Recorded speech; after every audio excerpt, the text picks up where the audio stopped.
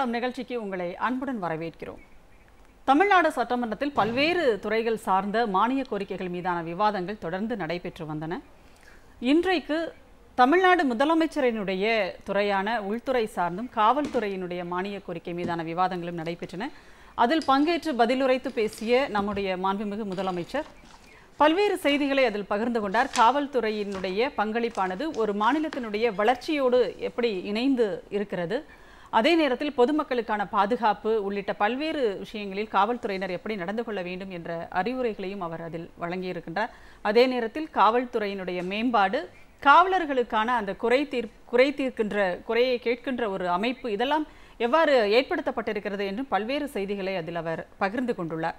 இந்த நிலையில் நாம் இது குறித்து சற்று உரையாட இருக்கிறோம். இந்த நிகழ்ச்சியில் நம்மோடு கருத்துக்களை பகிர்ந்து கொள்வதற்காக திமுகவின் சார்பில் திரு ராஜீவ்காந்தி அவர்கள் நம்மோடு இணைந்திருக்கிறார். அதேபோல் ஓய்வு பெற்ற காவல்துறை அதிகாரி திரு ராமநாதன் அவர்கள் நம்மோடு இணைந்திருக்கிறார். இரண்டு பேருடைய கருத்துக்களையும் நாம் இது தொடர்பாக கேட்கலாம்.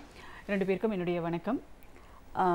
முதல்ல ராஜீவ்காந்தி சார் உங்ககிட்ட அதாவது என்னன்னா காவல்துறையை பற்றி பேசும்போது அடிக்கடி நம்ம சொல்ற ஒரு விஷயம் என்னன்னா ஒரு ஒரு அரசினுடைய நிர்வாகம் ஒரு மாநிலத்தினுடைய இதில் பார்க்கும்போது சட்டம் ஒழுங்கு அப்படிங்கிறதுக்கு ஒரு பெரிய முக்கியத்துவம் இருக்குது. ஒரு மாநிலத்தினுடைய வளர்ச்சியிலும் சரி மற்ற விஷயங்களிலும் சட்டம் ஒழுங்கு அப்படிங்கிறத தான் வந்து ரொம்ப முக்கியத்துவம் கொடுத்து எல்லாருமே பேசுவாங்க. அது சரியில்லைன்னா கடுமையான விமர்சனங்கள் அப்படின்றது வரும். இந்த நிலையில் முதலமைச்சர் அவர்களினுடைய இந்த காவல்துறை மானிய கோரிக்கை மீதான உரை அப்படிங்கிறத நீங்கள் எப்படி பார்க்குறீங்க? இன்றைய முதல் இன்றைய இன்னைக்கு காவல்துறை மானிய கோரிக்கைத்தின் மீது மரியாதைக்குரிய முதல்வர்கள் இந்த அறிவிப்பை வெளியிடுகிற போது உச்சநீதிமன்றம் ஒரு முக்கியமான உத்தரவை வெளியிட்டது. இங்கே ஆரியபுர பகுதியிலே ஆக்கிரமிப்புகளை அகற்ற வேண்டும் என்று சொல்கிற போது காவல்துறை எந்த ஃபோர்ஸையாவது பயன்படுத்தி எப்படி எந்த சூழலையாவது மக்களை அப்புறப்படுத்துங்கள் என்று ஒரு உத்தரவை உச்சநீதிமன்றம் சட்டப்படி வெளியிட்டு வெளியிட்டு கொண்டிருந்தது. அந்த அறிவிப்பு வந்திருக்கிற அந்த அந்த நேரத்தில் தான் மாண்புமிகு தமிழ்நாடு முதல்வர் தளபதி அவர்கள் சட்டமன்றத்தில் இந்த அறிவிப்பை வெளியிட்டார். மிக தெளிவாக சொன்னார் எந்த சூழலிலும் காவல்துறை துப்பாக்கியை கையில் எடுக்கக்கூடாது. இதுதான் சட்டத்தின் ஆன்மா கொண்டு மக்களை பார்ப்பதும் சமூகத்தின் ஆன்மா கொண்டு மக்களை பார்க்கிற அரசுக்கும் உள்ள வித்தியாசம். நீதிபதிகள் சட்டத்தை சொல்கிறார்கள் எந்த ஃபோர்ஸை பயன்படுத்தியாவது நீங்கள் அவர்களை அப்புறப்படுத்துங்கள் என்று. ஆனால் சமூகத்துடைய இதயத்தை படித்த சமூக இயக்கமான திராவிட இயக்கத்தின் வழிவந்த மரியாதைக்குரிய முதல்வர் தளபதி அவர்கள் எந்த சூழலும் துப்பாக்கியை கையில் எடுக்கக்கூடாதுங்கிறார் இதுதான் ஒரு உண்மையான சமூகத்தின்பால் அக்கறை கொண்ட சமூக பதட்டத்தை உண்டு செய்யாது. பொது ஒழுங்கை சரி செய்ய வேண்டும் சமூக ஒழுங்கை சரி செய்ய வேண்டும் என்கிற திராவிட மாடலின் சாட்சி. ஏன்னா ஒரு நீண்ட நெடிய உரையை மரியாதைக்குரிய முதல்வர் அவர்கள் இந்த துறை சார்ந்து ஏற்றிருக்கிறார் அதில் ஒவ்வொரு ஒவ்வொரு வார்த்தையும் ஒவ்வொரு எழுத்தையும் மிக கவனமாக தலைவர்கள் சொல்கிற போது குற்றமே நடக்காத சமூகத்தை நோக்கி நாம் கொண்டு போட வேண்டும். காவல்துறையை பார்த்தால் மக்கள் பயந்து போகிற சூழலை மாற்றி காவல்துறை என்பது இந்த சமூக மாற்றத்துக்கான உதவியாக இருக்க வேண்டும் என்று வலியுறுத்துகிறார். அதில் மிக மிக முக்கியமாக நம்ம நம்ம நம்ம கவனிக்க வேண்டியது வந்து தான் கட்டுப்பாட்டுக்கிற காவல்துறையின் தவறு செய்தாலும் தவறு தவறுதான்கிறார். என்னுடைய துறை தான் அவர்கள் தவறு செய்தார்கள் என்று ஒருபோதும் தவறு செய்த காவல்துறை பக்கம் என்று தலைவர் தன்னுடைய பொறுப்பை வந்து பின்வாங்கலை. காவல்துறை தவறு செய்திருந்தால் அவர்களுக்காக அவ அவர் அதை நியாயப்படுத்தலை யாரும் ஒருபோதும் நியாயப்படுத்தலை. அதற்கு மாறாக தவறு செய்த காவல்துறையின் பக்கம் நின்று தானே அதை சரி செய்ய முனைகிறேனுங்கிறது தான் தலைமையுடைய முக்கியமாக பங்காக நான் பார்க்குறேன். ஏன்னா இந்த இந்த சமூகம் வந்து வெறுமன லத்தி இல்லை வந்து துப்பாக்கி இல்லை சி சீருடையால் கட்டப்பட்ட சமூகம் அல்ல. அதற்கு மாறாக பல்வேறு மித்துகளை பல்வேறு சமூக பண்பாடுகளை பல்வேறு கலாச்சாரங்களை பல்வேறு மத பழக்க வழக்கங்களை கொண்ட இந்த சமூகத்தில் சட்ட ஒழுங்கை பாதுகாப்பது என்பது ஒவ்வொரு ஒவ்வொரு ம- ஒவ்வொரு மதத்துடைய மாண்பு அந்த மாண்புக்குள் இருக்கிற தனி மனிதருடைய உரிமைகளை மீட்பது தனி மனிதருடைய கடமைகளை செய்ய வைப்பது இதையெல்லாம் செய்கிற காவல்துறைக்கு ஒரு அரசின்பால் இருக்கக்கூடிய அரசுடைய சமூக நீதி கொள்கையும் தெரிந்திருக்க வேண்டும்.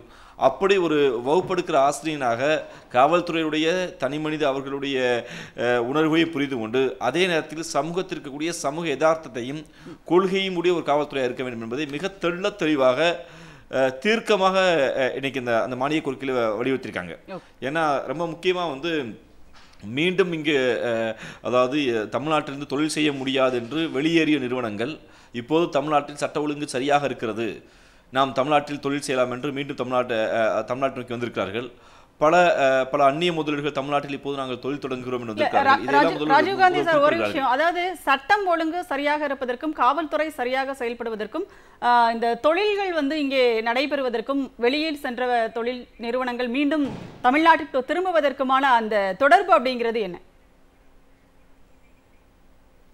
அல்ல அது அது- அது அது முக்கியமான ஒன்று. இப்போ ஏன்னா கடந்த காலங்களில் க அது க கடந்த எடப்பாடி தலைமையிலான எடப்பாடி பழனிசாமி தலைமையிலான அந்த அரசாங்கம் அவர்களுடைய நிர்வாக சீர்கேடு சட்ட ஒழுங்கு சீர்கேடு பொது ஒழுங்கு சீர்கேடுனால்தான் பல சென்னையை சுற்றி இருக்கிற பல பன்னாட்டு நிறுவனங்கள் எங்களால் அவர்களுக்கு லஞ்சம் கொடுத்தே மாள முடியாது. ஒரு வருகிற ஒரு தொழிலாளர் பிரச்சனையை கூட சரியாக அவர்களால் அணுக முடியவில்லை. ஒரு நிர்வாக பிரச்சனையை சட்ட ஒழுங்கு பிரச்சனையாக மாற்றி பொது ஒழுங்கு பிரச்சனையாக மாற்றுகிறார்கள் ஒரு தொழில் செய்வதற்கு உகந்த இடம் இது இல்லை என்று பல நிறுவனங்கள் அதை வெளியேறிய போன நம்ம அது கடந்த காலத்தில் படித்தோம் அப்படி வெளியேற நிறுவனங்கள் பக்கத்து மாநிலங்களாக இருக்கக்கூடிய ஆந்திரா போன்ற மாநிலங்களுக்கு போனாங்க. அந்த நிறுவனங்கள் கூட நாங்கள் மீண்டும் இங்கே வருகிறோங்கிறாங்க. அந்த நம்பிக்கை இருக்குல்லதா என்னால் ஒரு ஒரு தொழிலாளர் பிரச்சனை ஏற்படத்தான் செய்யும். அதை நியாயபூர்வமாக நின்று தீர்க்க தீர்க்கிற போது அப்படி தொழிலாளர் பிரச்சனை சட்ட ஒழுங்கு பிரச்சனையாக மாறினால் அந்த சட்ட ஒழுங்கில் கவனம் செலுத்தி சமூக ஒழுங்கு பொது ஒழுங்கு பாதிக்க பப்ளிக் ஆர்டர் பாதிக்காத அளவிற்கு ஒரு திறன்படு அரசு இருக்க வேண்டும். அது அதான் முக்கியம் நீங்க இப்போ ஒரு அது ஒரு ஆண்டு நிறைவேற்ற நம்ம இங்கே அதாவது திராவிட மாடல் அரசு மரியாதைக்குரிய முதல்வர் தலைமையிலான இந்த அமைச்சர் ஒரு ஆண்டை வந்து முடிச்சிருக்கு. இந்த ஒரு ஆண்டுகளில் உண்மையிலேயே நியாயபூர்வமான விமர்சனமாக நாம் எடுத்துக்கொண்டால் நம்முடைய கூட்டணி கட்சியாக இருக்கக்கூடியவர்களே சில பேர்களே சில சில- சில விமர்சனங்கள் வைக்கிறார்கள். அந்த விமர்சனம் சில இடங்களில் சில இடங்களில் வந்து ஊடக சமூக ஊடகங்களுக்கு கூடிய பதட்டத்தை கொண்டு வந்து ச- சமூக ஒரு நியாயபூர்வமாக இல்லாத சில விஷயங்களில் கூட அதை முதல்வருக்கு அழுத்தம் கொடுக்குறாங்க. ஆனால் அதையும் கூட மிக மிகச் சரியாக நியாயபூர்வம் எது எந்த பக்கம் நியாயம் இருக்குது என்பதை மிகச் சரியாக முதல்வர் அணுகிறார். ஆனால் அரசின் மீது காழ்ப்புணர்ச்சியோடும் அரசு அரசின் மீது வ- வன்மத்தோடும் இருக்க எதிர்க்கட்சிகள் இல்ல எதிரியாக செயல்படுகிற சில எதிர் எதிர்க்கட்சி தலைவர்கள்லாம் நீங்கள் வைக்கிற குற்றச்சாட்டு இந்த ஒரு ஆண்டுகளில் அவர்களால் விரல் விட்டு கூட எண்ண முடியாது ஏன்னா அவ- அவ- அவ்வளவு சட்ட ஒழுங்கு மிக தீர்க்கமாக இந்த அரசு கடைபிடிக்கிறது ஏன்னா சமூகத்தில் காவல்துறை. மீதான பயம் என்பது அவர் நமக்காக உழைப்பார்கள். நம்பிக்கை கொடுக்குது கண்டிப்பாக நம்ம தொடர்ந்து பேசலாம். அதையும் வந்து தமிழ்நாடு முதலமைச்சர் சட்டமன்றத்திலேயே வந்து அவர் சொல்லியிருக்கிறார். லாக்அப் மரணங்கள் குறித்து கூட அவரே பேசிட்டார் அதில். அதையெல்லாம் நாங்கள் நியாயப்படுத்தவில்லை. ஆனால் இனி இது போல் நடக்காது அப்படின்ற ஒரு உறுதியையும் அவர் கொடுத்திருக்கிறத நம்ம பார்க்குறோம். நீங்கள் சொன்ன மாதிரி அனைத்தையும் கேட்டுக்கொண்டு அதற்கேற்றாற்போட பதில் அளிக்கின்ற அதை பரிசீலிக்கின்ற ஒரு அரசு அப்படின்னு பதிவு பண்ணியிருக்கீங்க. பேசுவோம் நாம. ராமநாதன் சார் இப்போ ஒரு ஓய்வு பெற்ற காவல்துறை அதிகாரியாக இந்த காவல்துறை மானிய கோரிக்கை அப்படிங்கிறது சட்டமன்றத்தில் தொடர்ந்து வந்து தாக்கல் செய்யப்பட்டதெல்லாம் நீங்க பார்த்திருப்பீங்க. எப்படி பார்க்குறீங்க அந்த வேறுபாடு? அல்லது இது இது இப்படி இருக்கு இதில் நல்லா பண்ணியிருக்காங்க அப்படின்ற மாதிரி ஏதாவது உங்களுக்கு கருத்து இருக்கு?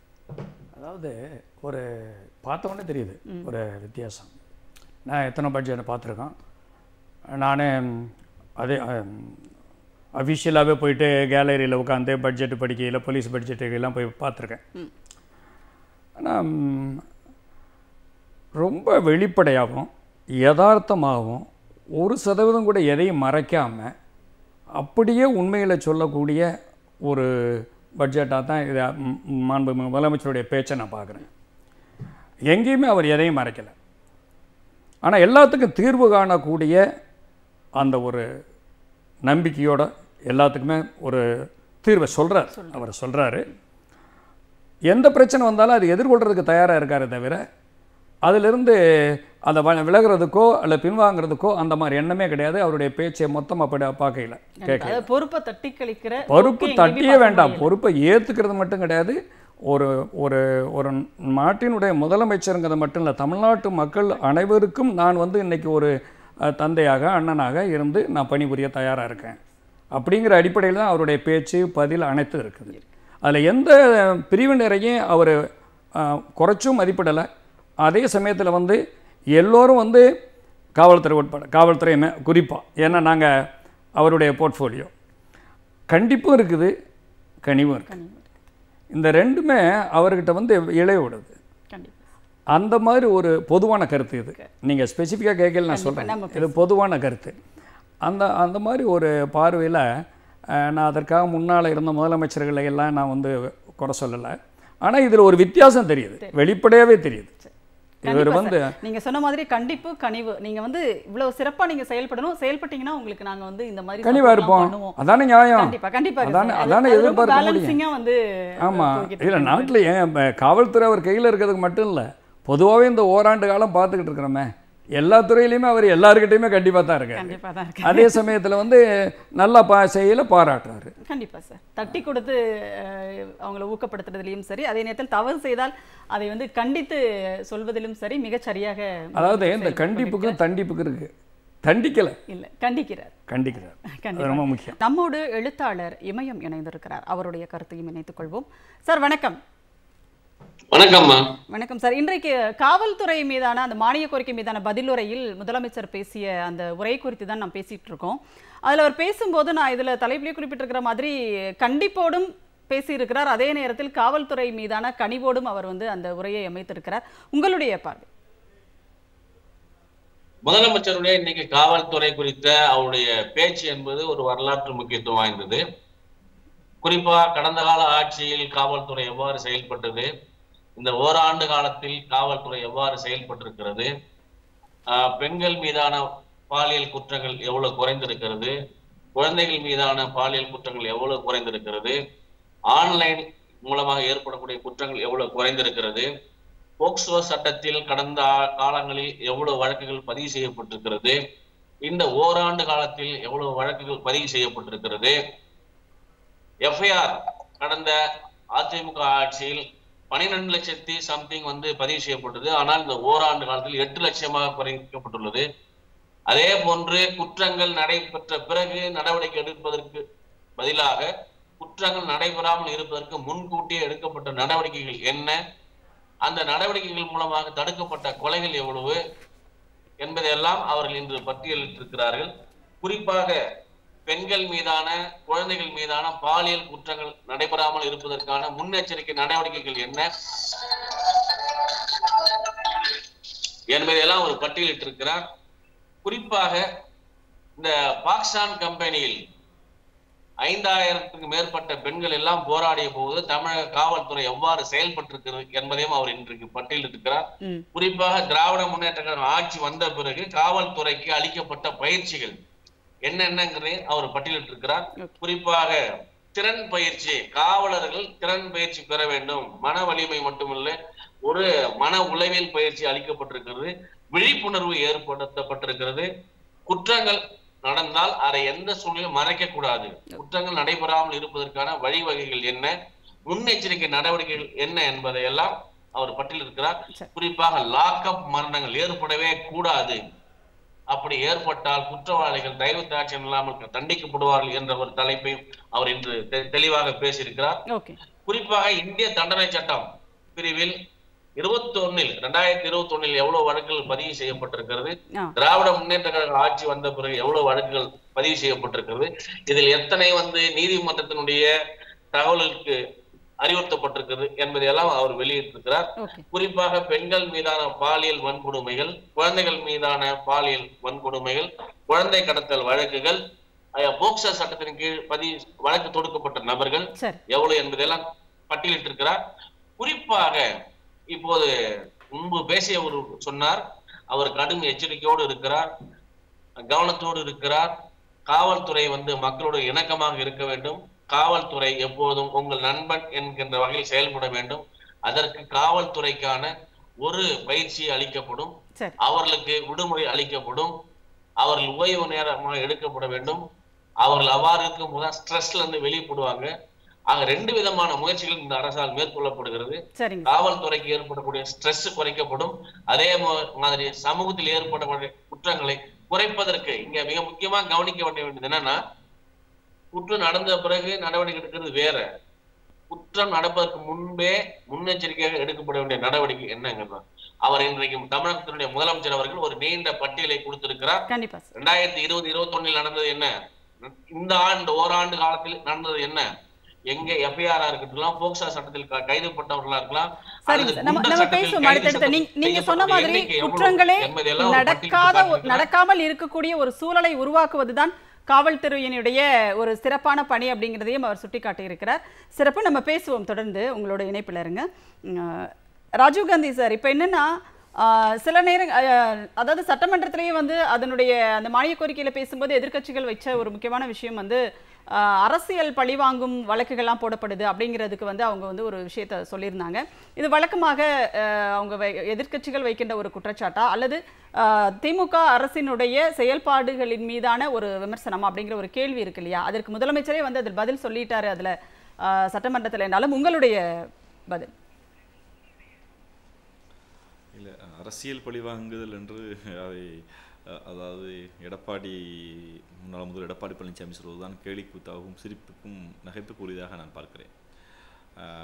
நீங்கள் கடந்த காலத்தில் நிர்வாகச்சிக்கலை நம்ம எவ்வளவு மோசமாக இருந்தது எவ்வளவு லஞ்ச லாவணியங்கள் இருந்தது அரசு எவ்வளவு வெளிப்படைத்தன்மை இல்லாமல் மறைமுகமாக செயல்பட்டது என்பதெல்லாம் நாம் நாம் சொல்ல வேண்டியதில்லை. திராவிட முன்னேற்ற கழகத்தின் செய்தி தொடர்பாளராக நாங்கள் சொல்ல வேண்டியதில்லை. இங்கே இருக்கக்கூடிய பொ பொது நிறுவனங்களாக இருக்கக்கூடிய இன்னும் சொல்ல போனால் ஆர்டி மூலமாக தகவல் பெற்று அதை வெளிக்கொண்டு வருகிற சில தன்னார்வ நிறுவனங்கள் பல்வேறு ஜனநாயகவாதிகள் பத்திரிகையாளர்களாம் எவ்வளவு கோரிக்கை வைத்தார்கள். கடந்த தேர்தலில் தேர்தலுக்கு முன்பே மரியாதைக்குரிய முதல்வர் அவர்கள் எதிர்க்கட்சி தலைவராக இருந்தபோதே மிக தெளிவாக திராவிட முன்னேற்ற கழகம் அமைச்ச ஆட்சி அமைந்தவுடன் தவறு செய்திருக்கக்கூடிய முன்னாள் அமைச்சர்கள் தண்டிக்கப்படுவார் என்றார்கள். அதற்கான நாங்கள் போட்டிருக்க எந்த வழக்காவது பழிவாங்க நடவடிக்கைன்னு சொல்லுங்கள் ஏற்கனவே போடப்பட்ட அதாவது மணி வகையாராக்கள் வழக்கு. வேலுமணி ஈரமணி இல்லை தங்கமணி வழக்குகளாகட்டும் இல்லை பல்வேறு அமைச்சர்களுடைய வழக்குகள். ஏதாவது முகாந்திரம் நாம் பழிவாங்க நடவடிக்கையா? அதில் பல்வேறு வழக்குகளில் நீதிமன்றங்களே எஃப்ஐஆர் போடுங்க என்று சொன்னது. இங்கே இங்கே சமூக கருத்து சொல்கிறோம் விமர்சனம் சொல்லுங்கிற பேரில் அதாவது எல்லை மீறி அதாவது பெண்களை கொச்சைப்படுத்துவது ஆளும் அரசை கொச்சைப்படுத்துவது அமைச்சர்களை கொச்சைப்படுத்துவது குறிப்பிட்ட சமூகத்தை கொச்சைப்படுத்துவது என்றிருந்த சமூக விரோதிகளை அதாவது நான் சொல்கிற ஹச் ராஜா சொல்கிற ஆன்டி இண்டியன் இல்லை. அதற்கு மாறாக சமூக விரோதிகளை. இங்கே அதாவது அதாவது கூண்டாஸில் போடப்பட்டது. இந்த கூண்டாஸ் வழக்கு நிறுவல் வரும்போதெல்லாம் ஒரு நான் கலைஞர் தொலைக்காட்சியில் அவருடைய பெயர் பெயரை சொல்வது சரியாக இருக்காது. சில பேர்களை குறிப்பிட்டே மரியாதைக்குரிய இங்கே மாண்மை உருந்திய உயர்நீதிமன்றம் சொன்னது இவர்களையெல்லாம் எப்படி வெளியே விட்டீங்கன்னு நம்மளை பார்த்து கேட்டாங்க. இவர்கள்லாம் மனிதகுல விரோதிகள். அதாவது மன இறுக்கத்துக்கு ஆளானவர்கள். இவர்கள் உள்ளே வைக்க வேண்டும் என்றுதான் சில பாஜக ஆதரவாளர்கள் என்று சொல்லிக்கொண்டு இணையதளங்களில் விமர்சனம் செய்தவர்கள்லாம் சொன்னார்கள். எதிர்க்கட்சிகளை பழிவாங்குவதற்கிற நோக்கம் திராவிட முன்னேற்ற எப்போதும் இருக்காது. திராவிட முன்னேற்ற கழகத்தை பொறுத்தளவில் அவர்கள் சொன்னது போல் இல்ல இப்ப இந்த இடத்துல இன்னொரு கேள்வியும். வருது. அதாவது நீங்க சொன்ன மாதிரி இந்த மாதிரி முன்னாள் அமைச்சர்கள் தவறு செய்தவர்கள் மீதெல்லாம் வந்து எஃப்ஐஆர் போட்டிருக்கோம். இது எல்லாத்தையும் நீங்க சொன்னீங்க இல்லையா? இப்போ சட்டமன்றத்தில் பேசும்போது முதலமைச்சர் சொன்னாரு இந்த போதைப் பொருட்கள் குட்கா போன்ற பொருட்கள் விற்பனையை வந்து கடுமையாக வந்து தடுக்கணும். அது வந்து எங்கேயுமே இல்லாத ஒரு நிலையை வந்து காவல்துறை உருவாக்கணும் அப்படிங்கிறத வந்து ரொம்ப அழுத்தமாக வந்து முதலமைச்சர் பதிவு செய்திருக்கிறார். அதற்கு இணையாக இன்னொரு கேள்வியும் வருகிறது. அப்போ கடந்த ஆட்சி காலத்தில் அமைச்சராக இருந்த விஜயபாஸ்கர் மீது ஒரு பெரிய ஒரு குற்றச்சாட்டு அதில் இருக்கிறது. நிறைய ரைட்லாம் நடந்துச்சு. ஆனால் என்ன நடவடிக்கையும் இல்லையே அவர் ஏன் கைது செய்யப்படவில்லை அப்படிங்கிற கேள்வி இன்றைக்கு வந்து பொதுத்தளத்தில் வைக்கப்படுது இல்லையா?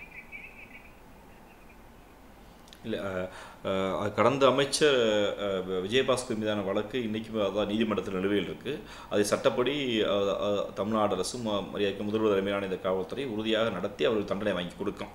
ஆனால் அதே நேரத்தில் நாங்கள் வந்து குக்காவே இல்லை அப்படின்னா தலைவர் எங்கேயும் மற மறைக்க விரும்பலை ஏன்னா ஒரு சமூகத்தின் குற்றமாக போதை மாறி இருக்கிறது. அதை எக்காரணம் கொண்டும் சமூகத்தில் இங்கே இளம் சிறார்களிடம் வெளிமிட மக்களிடம் கொண்டு போய் சேர்த்து அதை யா வியாபாரம் பார்க்குற லாப நோக்கோடு வியாபாரம் பார்க்குற போதை வ- போதை வஸ்து பொருட்களை ஒருபோதும் அனுமதித்து விட முடியாது என்று தான் அதை காவல்துறைக்கு எச்சரிக்கை விடுகிறார். ஒருபோதும் அதை நம்ம நடமாட முடியாது. ஏன்னா இன்னைக்கு இந்த சமூக அக்கறையை ரொம்ப முக்கியமாக கவனிக்கணும். எழுத்தாளர் அண்ணன் அண்ணன் இமயம் அவர்கள் சொன்னது போல் இங்கே யாருக்கான குரலாக பேசுகிறாரு இங்கே வந்து அதாவது வன்கொடுமை தடுச்ச வ- வன்கொடுமையால் சாதிய திட்டாமையால் பாதிக்கப்படுகிற போது அதை வந்து அதாவது கண்மூடி வேடிக்கை பார்க்க முடியாது. மதத்தின் பிரிவினையால் ஒரு குறிப்பிட்ட மதத்தில் சிறுபான்மை மதத்தின் மீது தாக்குதல் நடத்த வேடிக்கை பார்க்க முடியாது. குறிப்பாக பெண்கள் மீதான பாலியல் சிண்டர்களை அனுமதிக்கக்கூடாது. அப்படி அது அந்த புகார்கள் வரும்போது உடனடியாக நடவடிக்கை எடுக்கணும். அது அது மாதிரி அது சமரசம் செய்ய முடியாத வழக்குகள் வருகிறதுக்காக அது கணக்குக்காக கணக்கு காமிக்காதீங்க. ஆமாம் இருக்கு இருக்குன்னு சொல்லுங்க. இல்லைன்னா இல்லைன்னு சொல்லுங்க. அஹ் அதாவது அது இங்கே இங்கே முக்கியமாக வந்து அதாவது மாணவர்களுடைய போதைப் பொருள் குறித்து விவாதிக்கப்படுது. இதே இதே கடந்த முதல்வராக நினைச்சிருப்பாங்க ஆமாம் இல்லைங்கன்னு அதை நழுவியிருப்பாங்க. அவர் அதெல்லாம் சொல்ல. இருக்குதுண்டா இருக்குதுன்னு சொல்லுங்க. அதை தடுப்பதற்கு என்ன வழி? அதை யோசிங்க. கண்டிப்பா. ஏன்னா சமூகத்தின் குற்றமாக மாறக்கூடாது. அதை வந்து அது பொறுப்புள்ள ஒரு ஒரு ஒரு தந்தையின் ஸ்தானத்திலிருந்து. அஹ் மரியாதைக்கு முதல்வருடைய ஸ்டாண்ட் வந்து நான் தந்தையாக இருக்கிறேன். நான் நான் வந்து அந்த மாணவ சமூகத்தை வந்து சீரழிக்கிற எந்த எந்த எந்த விதமான போதை வஸ்துகளையும் இந்த இந்த அரசு அனுமதித்து விட முடியாது. அப்போ அது அதை விற்பவர்களை அதை அதை அதை கொண்டு வந்து சட்டத்துக்கு விரோதமாக இயங்குபவர்களை உடனடியாக தண்டிக்கப்பட வேண்டும். அது என்ன நான் நான் பல்வேறு வாதங்களை சொல்கிறேன் இங்கே வந்து பெண் வந்து இந்த சமூகத்தில் மோகப் பொருளாக பார்க்கப்பட்ட இந்த இந்த இந்த சமூகம். அப்போ பெண் பெண்களை பாலியல் இச்சைக்கு பயன்படுத்தலாம் என்கிற மேலாதிக்க மனநிலையில் தான் பல பேருடைய மனநிலை இங்கே இருக்கு அதை எதிர்த்து பல அரசியல் இயக்கங்கள் போராடி எழுதி சீர்திருத்தம் செய்துதான் தந்தை பெரியார் போன்றவர்களாலும் திராவிட இயக்கங்களாலும் தொடர்ந்து பெண்கள் இந்த நீங்கள் மதிக்கிற மோகப் பொருள் அல்ல அதற்கு மாறாக பெண்கள் என்பவர்கள் இந்த இந்த ஒரு சக மனுஷிதாங்கிற தத்துவம் இருக்குல்ல. அதை வந்து வெளிப்படையாக நம்ம பேசி தாங்கணும் அதை தான் முதல்வர் சொல்கிறார். பெண்கள் மீதான பாலிய சீண்டுதல்களையே நம்ம ஒருபோதும் அனுமதித்து விட முடியாது. அப்போ இன்னைக்கு தான் அந்த நம்பிக்கை வருது பெண்கள்கிட்ட.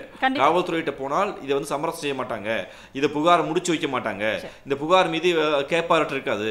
அப்போ தன் மீது இது ஒரு வீட்டுக்குள் நடக்கிற ஒரு ஒரு ஒரு ஒரு வழிதறியாத நான்கு சோற்றுக்குள் நடக்கிற பிரச்சனைகளை இன்று இன்னைக்கு தான் மனம் வந்து உறுதியாக இந்த அரசு நம்மளை காப்பாற்றும் என்ற நம்பிக்கையோடு புகார் கொடுக்கிறார்கள். அந்த கொண்டு வரணும். கண்டிப்பாக நீங்க சொன்ன மாதிரி.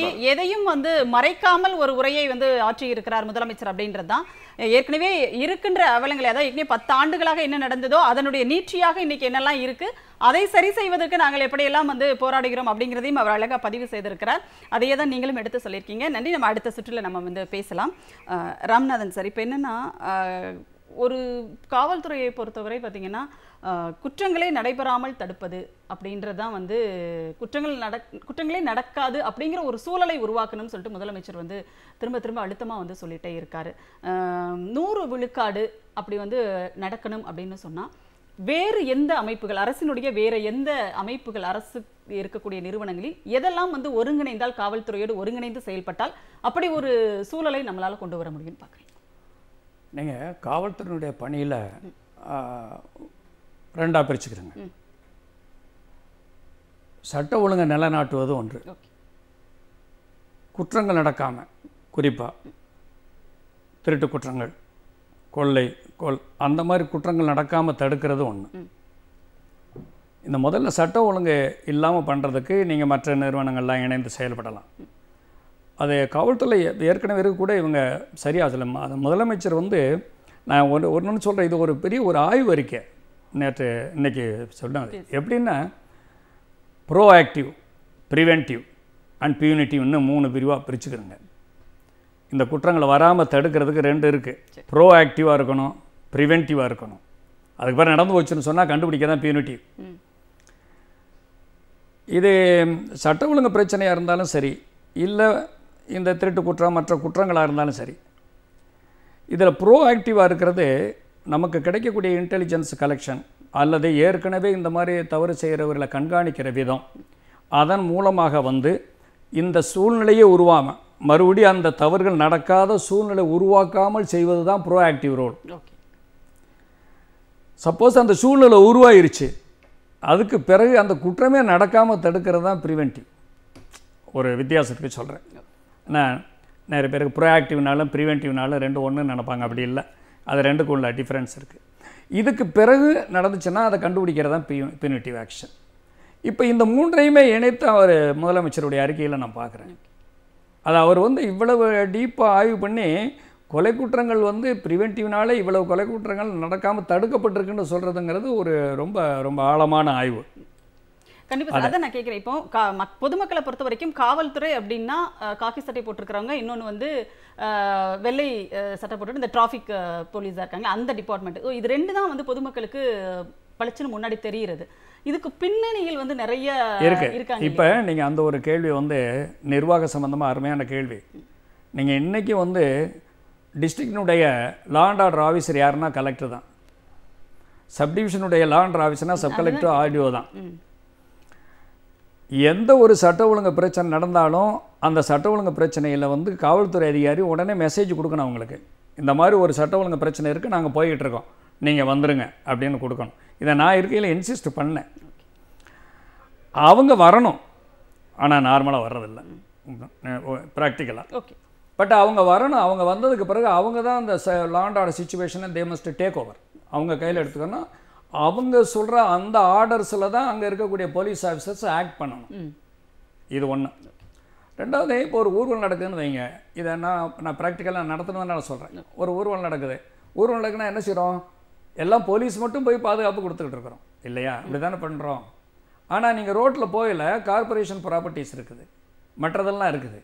அந்த ப்ராப்பர்ட்டிஸ் அவங்க டேமேஜ் பண்ணாங்கன்னா அப்போ நம்ம என்ன செய்யணும்? முன்னாலே இந்த மாதிரி இத்தனாம் தேதி ஒரு ஊர்வலம் இருக்குது. இத்தனை மணியிலேருந்து. நீங்கள் கார்ப்பரேஷன் ஸ்டாஃபையெல்லாம் அலர்ட் பண்ணி வைங்க. உங்கள் ஏரியாவில் இருக்கக்கூடியதை நீங்கள் பாதுகாக்கணும். இது ஒன்று ஓகே அதே மாதிரி பிடபிள்யூ டிபார்ட்மெண்ட்டு ஹைவேஸ் டிபார்ட்மெண்ட்டை அலர்ட் பண்ணணும். ஏன்னா திடீர்னு தடைகளை போடுவாங்க. திடீர்னு மரங்களை வெட்டி போடுவாங்க. ஸோ அந்த மாதிரி சந்தர்ப்பங்கள்ல அவங்களுக்கு நம்ம அந்த அந்த அந்த அஜி அஜிடேஷனை பொறுத்து இருக்குது. அதை வச்சு அவங்களுக்கு நம்ம லெட்டர் அவங்களே அலர்ட் பண்ணணும்.